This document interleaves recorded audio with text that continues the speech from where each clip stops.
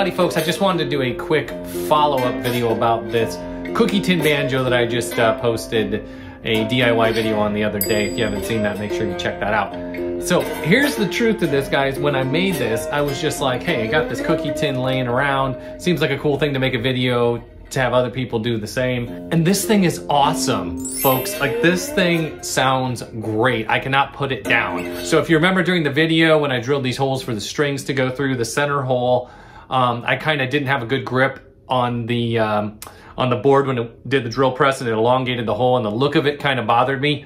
So I put some little rivets in there. You can probably just see that.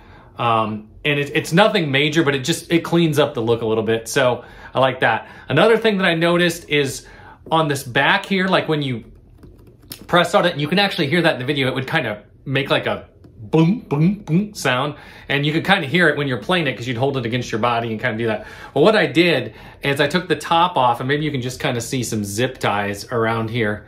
And I, um, I cut a piece of craft foam the same size as the top and then a piece of cardboard and I zip, to, zip tied them to the top here. And now you can push on that all you want and it doesn't make that clankety clank sound. And remember during that video I showed you how to find the third, fifth, seventh, ninth, and 12th fret lines without needing a gauge. Well, I went back and I put in the rest of them as well. When you strum this thing, has that weird kind of rackety thing. It almost sounds like it's plugged into an amp. But it's not. That's just the way it sounds. So I thought, what would it sound like electric? So I added a piezo pickup and a jack here. I've got one of my cigar box amps here, so let's plug it in real quick.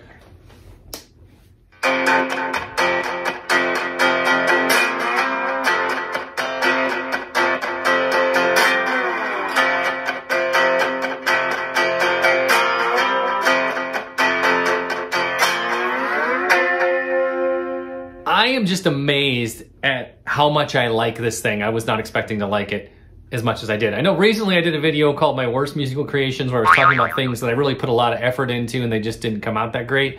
This is the complete opposite. I put virtually no effort into this and I just love it. Anyway, there it is. If you haven't made one of these, make one because this thing is magical. I'm gonna get back to playing it.